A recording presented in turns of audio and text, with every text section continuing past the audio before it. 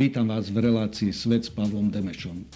Dnes budeme hovoriť o horúcom konflikte na území nášho suseda Ukrajiny. Mám veľkú čest, že do štúdia prijal pozvanie popredný odborník na riešenie konfliktov veľvyslanec Marcel Peško, ktorý v súčasnosti riadi na ministerstve zahraničných vecí európskych záležitostí oddelenie pre boj s hybridnými hrozbami, ale mnoho rokov pôsobil v Organizácii pre bezpečnosť a spolupráci v Európe. Vítajte v štúdiu. Dobrý deň a ďakujem za pozvanie. Pán Veslanec, udialo sa čosi, čo sme si stále nechceli pripustiť, že je to možné. Na území Európy máme vojnový konflikt. Vy v súčasnosti sa venujete e, boju s hybridnými hrozbami, ale ste e, dlhú dobu pôsobili v Organizácii pre bezpečnosť a spoluprácu v Európe. Viedli ste dokonca Centrum pre prevenciu konfliktov.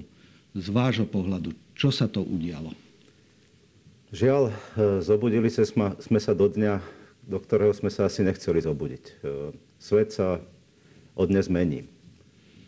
Máme krajinu, ktorá je zakladajúci člen OSN, ktorá je člen OBSE, Rady Európy a mnohých ďalších medzinárodných organizácií, ktorá veľmi jasne a nespochybniteľne porušuje základné pravidlá medzinárodného práva, chartu OSN, Helsinský záverečný akt.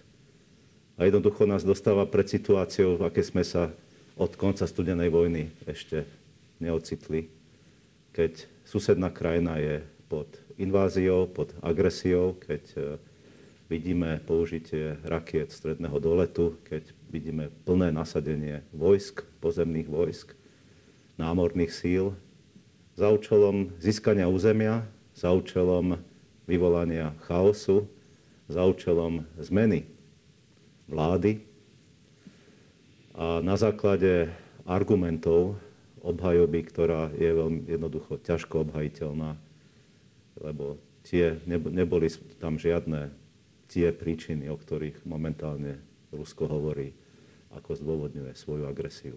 Čiže sme v novom, novej situácii. Mm-hmm. Podstate tie rámce bezpečnostnej architektúry, ktoré sme poznali, na ktorých sme stavali, naše medzinárodné vzťahy, bezpečnostnú situáciu, bezpečnostné vzťahy sú narušené.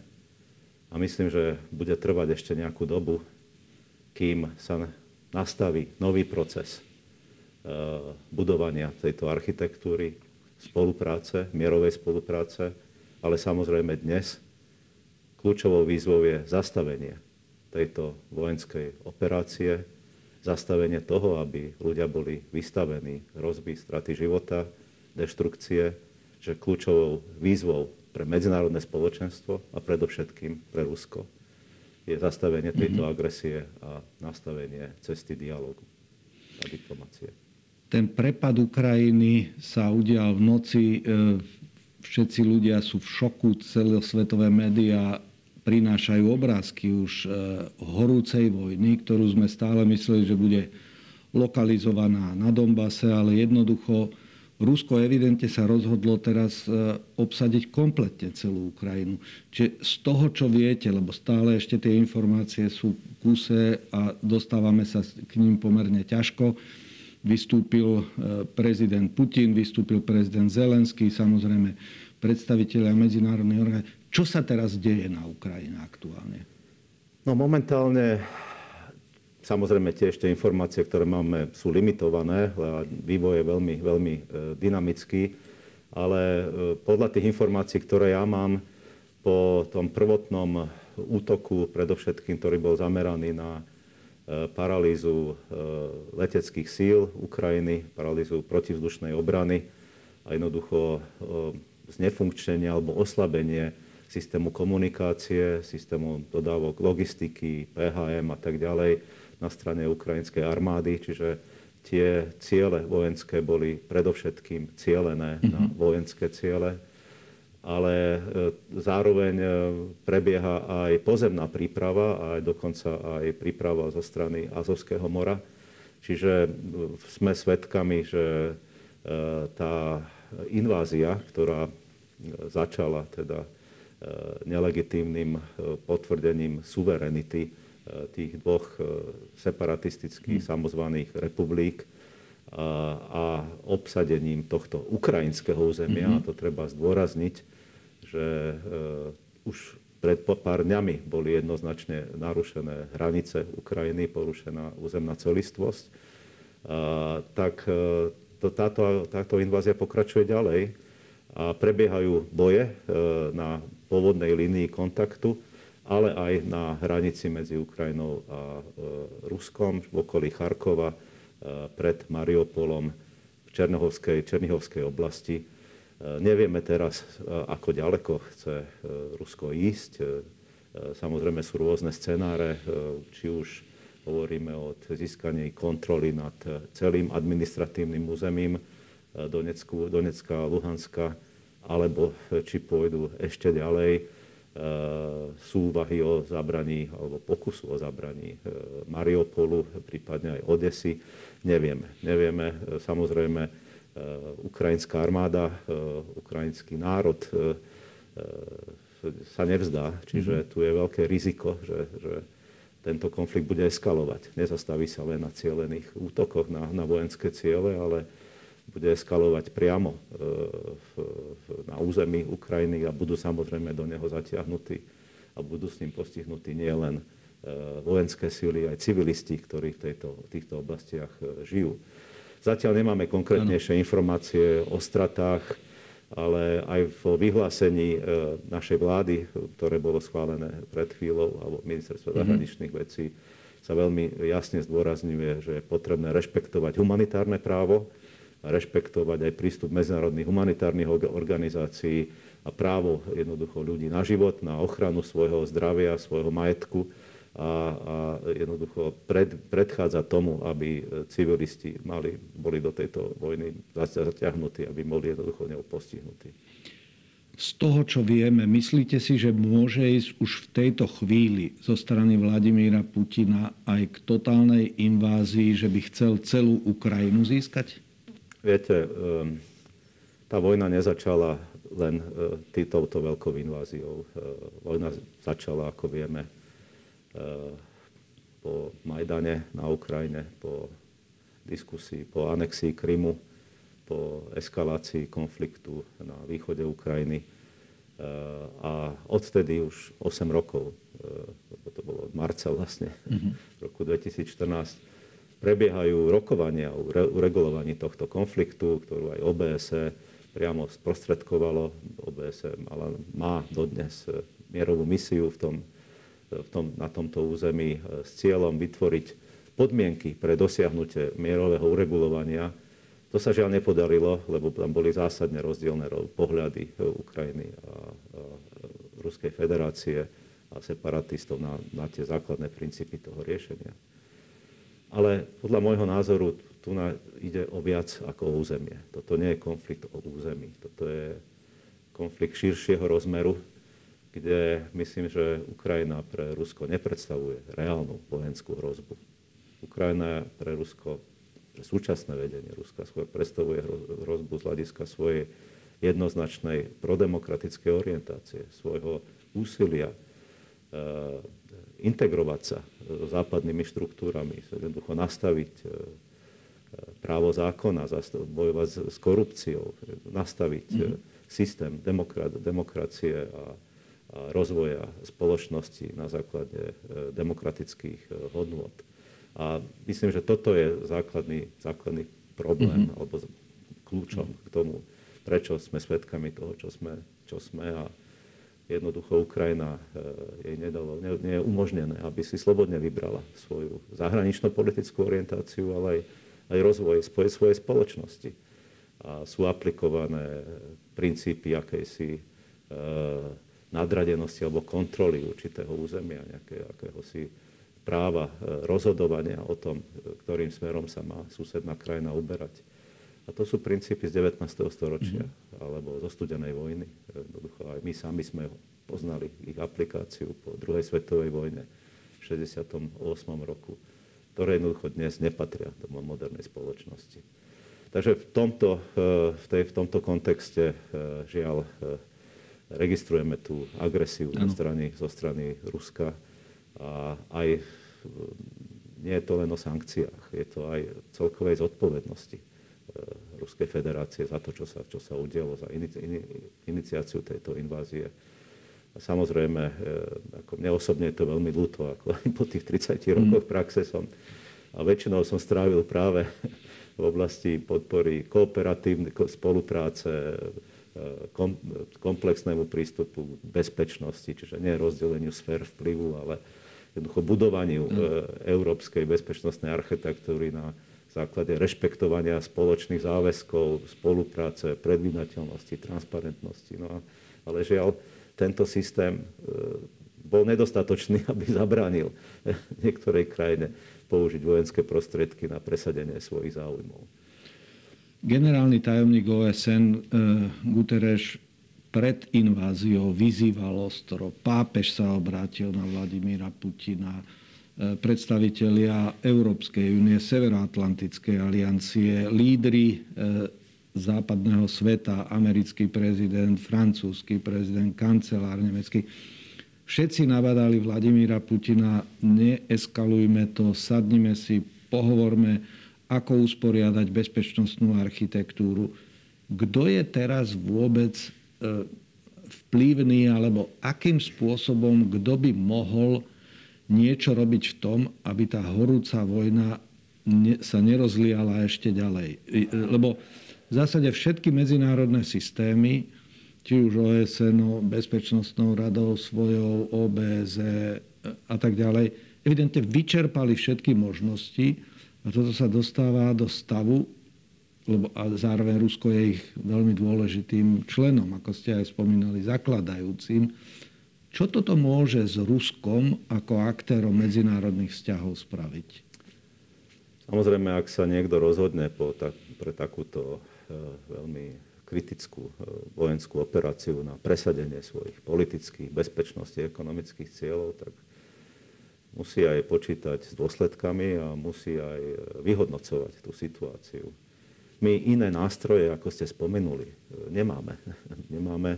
Našim primárnym cieľom je e, vtiahnuť Rusko do dialógu a nájsť cestu riešenia aktuálnej situácie, čiže dosiahnutia prímeria generálny tajomník Guterres vo svojom vyhlásení počas e, mimoriadného zasadnutia Bezpečnostnej rady ešte dnes ráno, mm-hmm. práve počas bezpečnosť, zasadnutia Bezpečnostnej rady, ktorom predsedal ruský stály predstaviteľ, sa udial, alebo to začal, začal, začala táto invázia, tak vyzval, e, vyzval Rusko a všetkých aktérov zodpovedných, aby jednoducho skončili s touto, s touto operáciou, aby sa vrátili k medzinárodnému právu aby nezneužívali e, e, koncept mierových operácií na presaďovanie svojich, svojich záujmov. Čiže iné, iné nástroje nemáme. Máme OSN, máme OBSE, máme bilaterálne možnosti a boli, ako ste spomínali, snahy vrátiť sa k rokovaciemu stolu, vrátiť sa k minským dohodám a pozrieť sa na to, kde, kde sú problémy. Z, z tej druhej strany sme boli svedkami trvania na tom, že, že jednoducho Ukrajina musí deklarovať, e, že jednoducho nebude e, smerovať e, k NATO, že my budeme musieť noví členovia NATO alebo najnovší členovia NATO stiahnuť všetky vojenské vybavenie, technológiu na to z nášho územia, tak ako to bolo pred rokom 1997. A to bolo vlastne ultimátum ktorým, podmien, ktorým Moskva podmienovala svoje, svoje potenciálne vojenské riešenie, na ktoré upozorňovala. A to sa stalo dnes mm-hmm. realitou. Čiže uh, myslím, že nerátali sme s tým, ten, je tam veľký moment prekvapenia.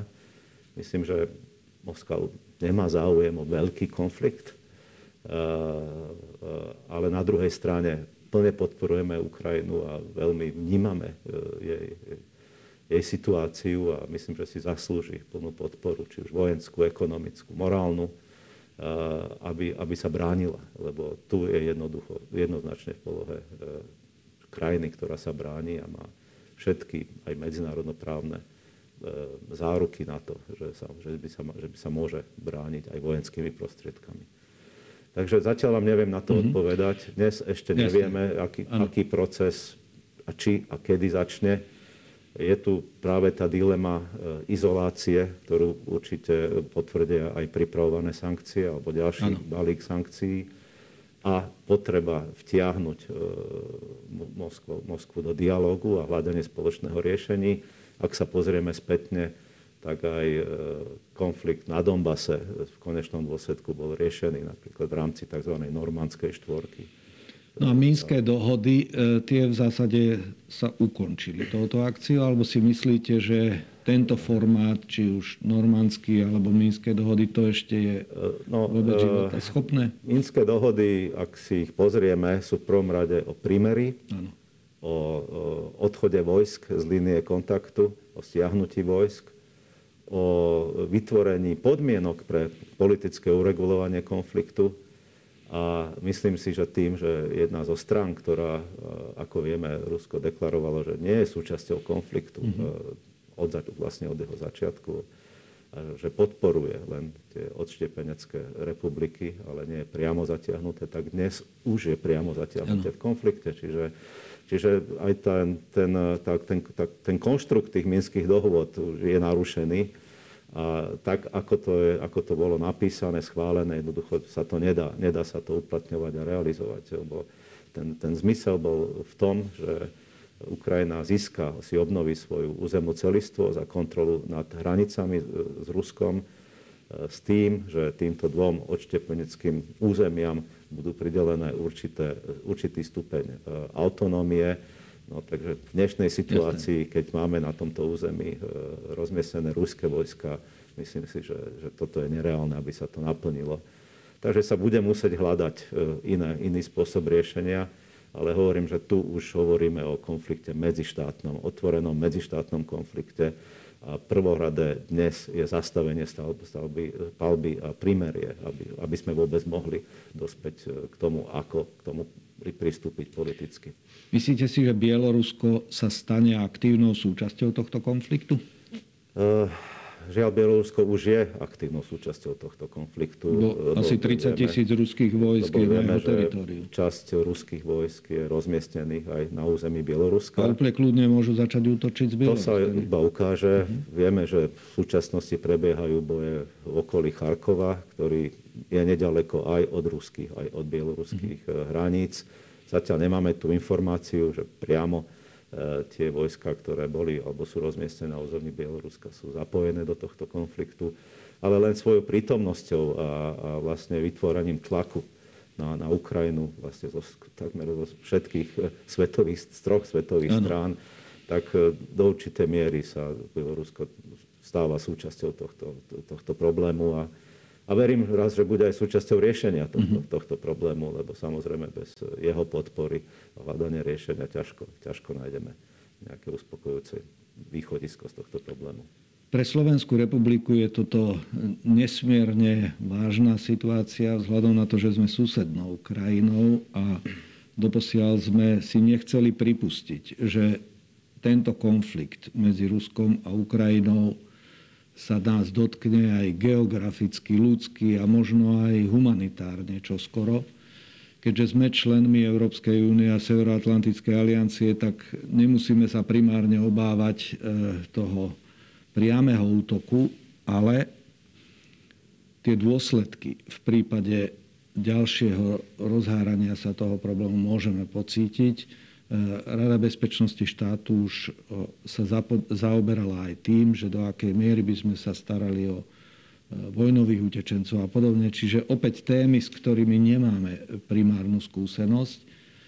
Z toho, ako ste v rámci OBS riešili viaceré veci okolo vojnových situácií, či v tom bývalom posovietskom priestore, na Balkáne, je Slovenská republika pripravená zohrať svoju úlohu v rámci tej kolektívnej obrany. E, a do akej miery si myslíte, že zatiaľ Slovensko vystupuje ako aktér, ktorý by mohol byť pridanou hodnotou nielen konzumentom bezpečnosti? V prvom rade si myslím, že aj dnešné ráno, dnešný deň preukázal to, že žiadna krajina v Európe nie je akýsi izolovaný ostrov, ktorého sa netýka bezpečnosť v Európe. A, a my nemôžeme jednoducho sa tváriť, že sa nás to netýka, že zostaneme mimo, mimo tohto diania. Naopak, sa nás to priamo týka. Týkalo sa to aj pred týmto konfliktom.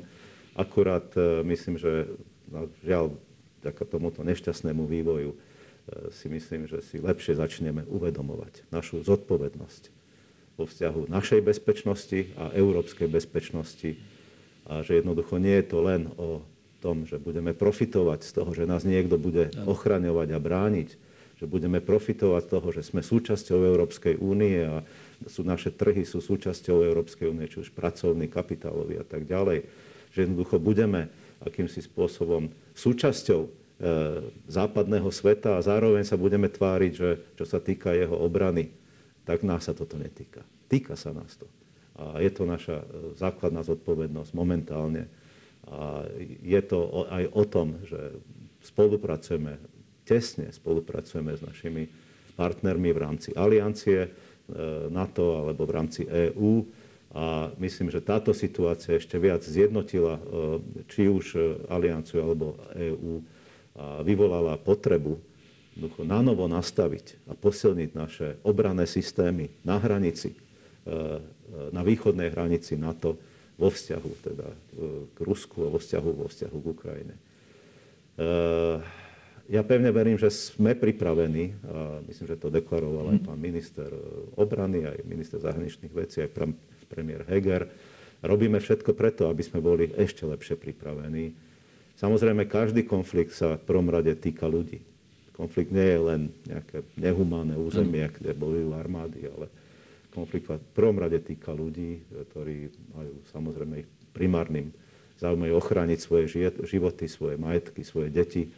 Čiže ľudia je prirodzené, že utekajú z toho priestoru konfliktu, hľadajú, hľadajú iné východisko, iné možnosti.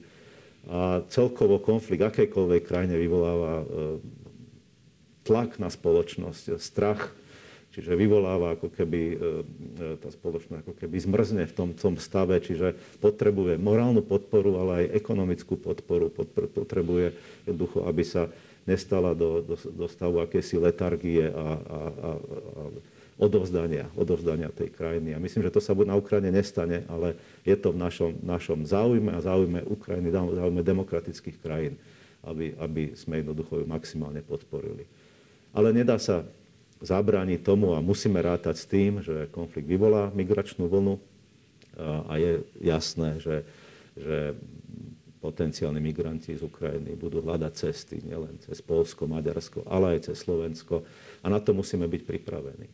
A tu hovoríme o ľuďoch, ktorí sú postihnutí vojnovým konfliktom, čiže na nich sa aplikuje humanitárne právo, tu nie je diskusia o tom, či môžeme alebo nemôžeme. Tu musíme. My jednoducho máme záväzky v tejto oblasti, ale je to aj našou morálnou povinnosťou, aby sme týmto ľuďom mm. e, pomohli, e, našli pre nich e, dočasné nejaké ubytovanie a dôstojné ubytovanie.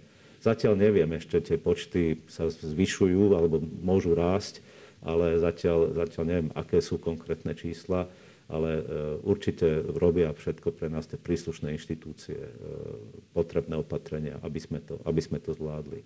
Ale aj tu je potrebné si že si to vyžaduje aj podporu spoločnosti. Nie je to len nejaké ministerstvo vnútra alebo ministerstvo obrany, ale to je o celej spoločnosti. Spoločnosti, aby dokázala ano. vnímať tú mieru tej krízy a, a potrebu podpory a súdržnosti aj, aj z našej strany ľuďom, ktorí sú postihnutí konfliktom. Do určitej miery sme zlyhali, musím povedať, v čase krízy v Sýrii a, a myslím, že, a verím, že, že dnes v tejto situácii naše postoje budú eh, jednoznačné v smere podpory teda Ukrajincov a, a potenciálnych migrantov, ktorí sa budú aj u nás. Na záver by som sa chcel dotknúť témy, ktorá je vašim každodenným chlebíkom, boj, prevencia, pred hybridnými hrozbami. Verejnosť, a ako ste veľmi správne povedali, že toto nie je len vecou ministerstie vlády, ale celá spoločnosť si musí nejakým spôsobom zrovnať teraz vo svojom vedomí, svedomí, že čo sa toto deje, kde stojíme, ako môžeme byť nápomocní v zmiernení utrpenia ľudí. Ale Slovensko za posledné týždne ukázalo dosť značnú geopolitickú dezorientáciu a mnoho ľudí si myslelo, že za tú krízu zodpovedá Západ, Amerika a nie Rusko. E, do akej miery si myslíte, že tie hybridné operácie, manipulácia verejnosťou, šírenie úplne odlišných e, obrazov o realite e, zmenia túto situáciu, respektíve na čo sa musíme pripraviť na čo sa vy pripravujete, že tá expozícia v interpretovaní toho, čo sa deje, môže pokračovať v vytváraní chaosu v hlavách verejnosti. Tak cieľom hybridných aktivít, lebo nie každá hybridná aktivita musí byť aj nevyhnutne hybridná hrozba, mm-hmm. ale hybridných aktivít je v prvom rade zneistiť, vytvoriť chaos, vytvoriť e, pocit nedôvery v inštitúcie, pocit nedôvery vo funkčnosť štátu. A to sa Rusku na Slovensku celkom a pocit nedôvery voči demokratickému Aj. systému ako takému. Mm-hmm.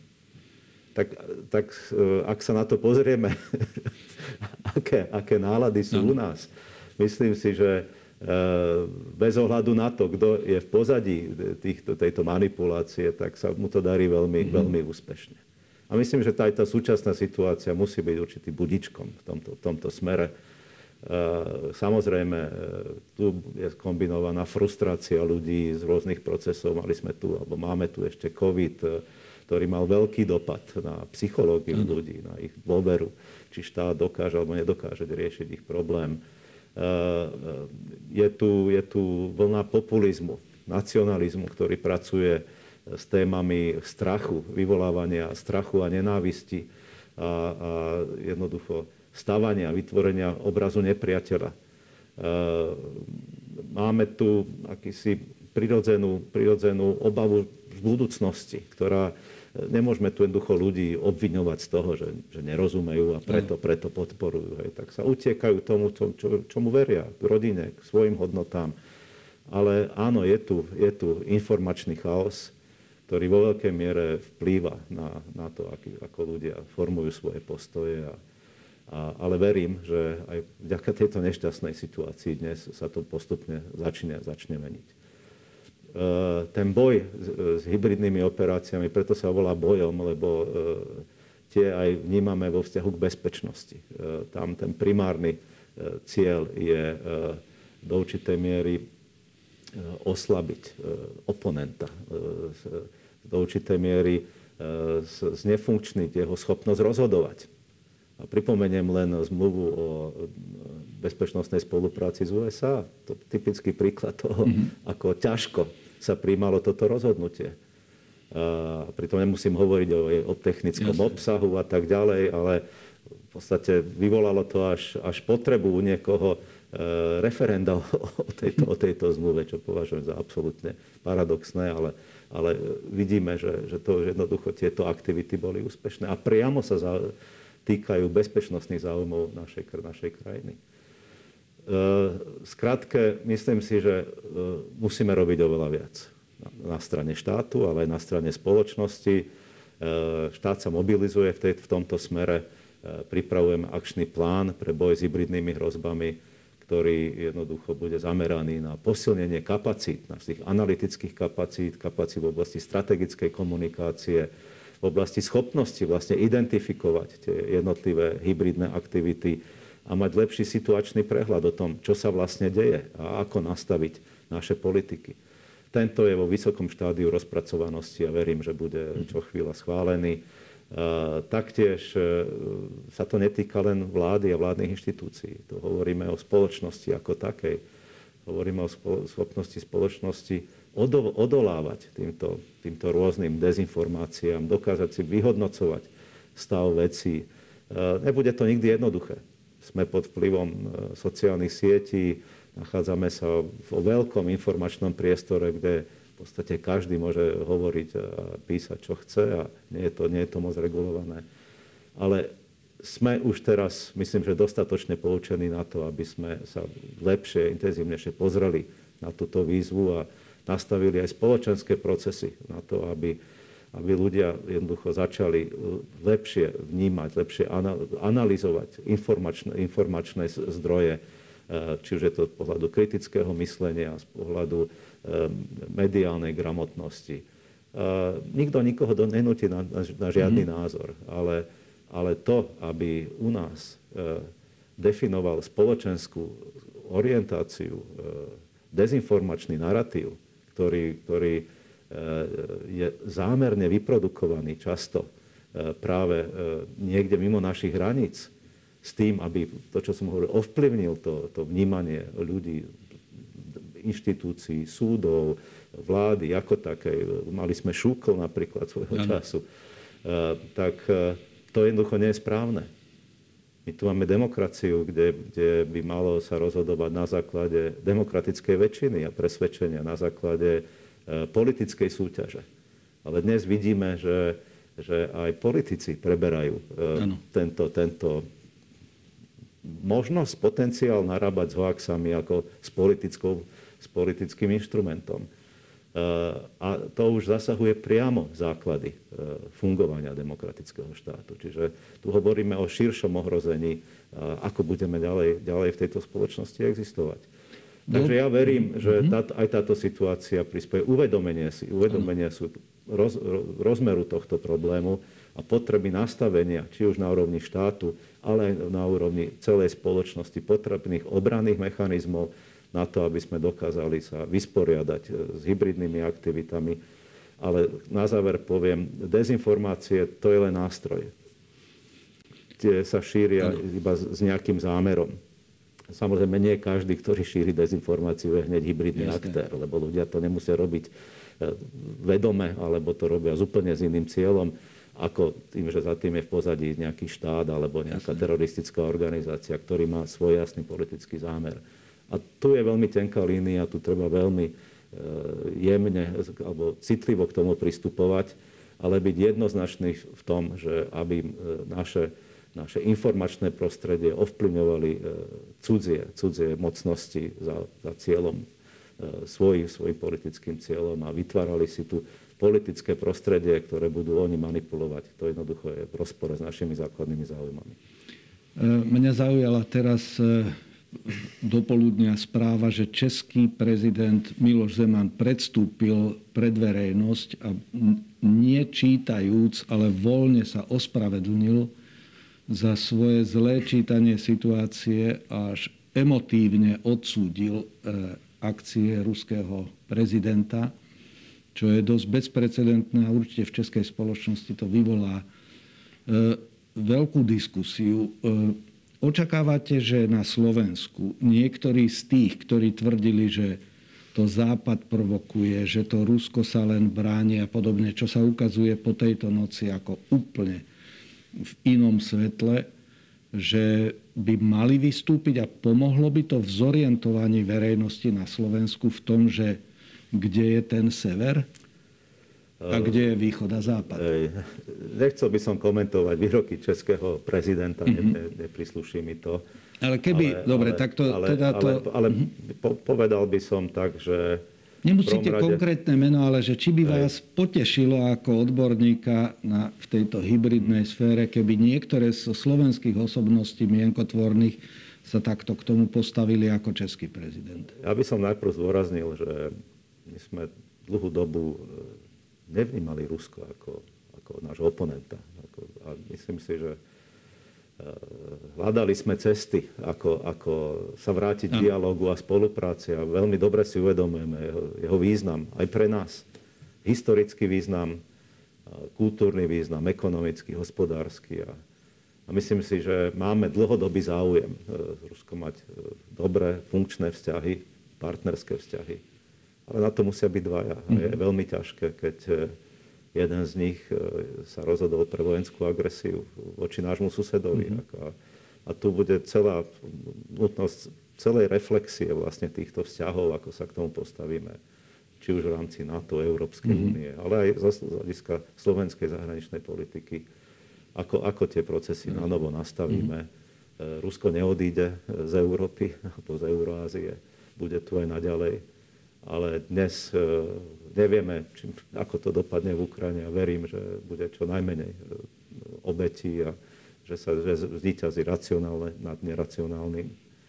Lebo aj toto je jedna z vecí, že nevidíme tú racionalitu v týchto, týchto krokoch, čo sa udiali, opodstatnenie. E, takže e, veci sú ešte otvorené a samozrejme aj politici majú, majú môžu mať prirodzene Jasne. svoj názor na to, do akej miery s Ruskom spolupracovať, nespolupracovať Eh, ako akcentovať túto spoluprácu vo, svojom, vo svojich politických líniách.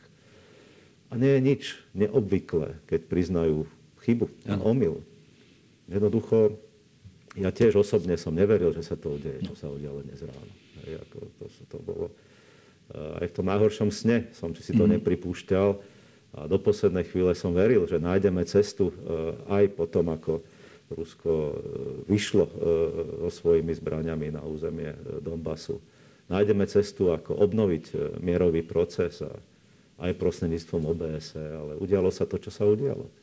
Takže myslím si, že je to imperatívom pre každého slovenského politika, mm-hmm. aby, aby sa pozrel na svoju argumentáciu a na svoje, na svoju, na svoje politické, mm-hmm. politické priority a vyhodnotil, Jasne. do akej miery Eh, na základe toho, že tu máme preukázateľnú agresiu eh, zo strany Ruska, ktorá vyústiuje aj do, do strát životov v podstate nevinných ľudí, eh, ktorá popiera existenciu susednej krajiny, tak si to musíme vyhodnotiť a nebuď, ne, nemôžem hovoriť za extrémistov alebo ľudí s extrémnymi názormi, ale pevne verím, že ten, ten politický mainstream ktorý aj na Slovensku už mal tendenciu sa pri, prichylovať k extrémnym názorom, e, vytriezvie a, a, a, a uvedomí si, že naše hodnoty sú niekde inde mm-hmm. a, a tie treba obhajovať a na tom treba postaviť e, našu politiku. Bez ohľadu na to, že je to lákavé, že to môže priniesť krátkodobé politické zisky, keď oznam, oznam, označíme niekoho za vlasti zradcu, lebo chce podpísať e, zmluvu so svojím spojencom. Možno, že je to lákavé, ale aj dnes vidíme, že je to krátkodobé. Mm-hmm. A, a určite si Slovensko zaslúži, e, aby jeho politici mali dlhodobé vízie, vedeli, kam smeruje Slovensko, bolo pevne ukotvené e, v západných štruktúrach a na základe demokratických hodnôt. Však o tom vám vlastne od začiatku po revolúcii išlo. A, a verím, že aj, aj toto prispieje k tomu, že nezídeme z tejto cesty a naopak e, v našej orientácii ešte sa upevníme a, a pôjdeme tým smerom, ako máme ísť. Ďakujem veľmi pekne, pán veľvyslanec, že ste prijali pozvanie v tomto horúcom čase a podelili sa so svojimi poznatkami a postrehmi. Ďakujem pekne. Ďakujem ešte raz a dúfam, že na budúce to bude pri e, optimistickejšej situácii, ale veľmi pekne ďakujem za toto pozvanie a aj za možnosť, aby sa aj ľudia z tej expertného kruhov vyjadrovali, lebo je to teraz dôležité, aby práve ľudia, ktorí majú jednoducho profesionálny vzťah k týmto veciam, mohli e, aj e, vysvetľovať verejnosti, čo sa deje a umožniť verejnosti, aby nastavila svoje vnímanie tej situácie na základe faktov a nie vymyslených hoaxov. Ďakujem a dovidenia. Ďakujem aj ja.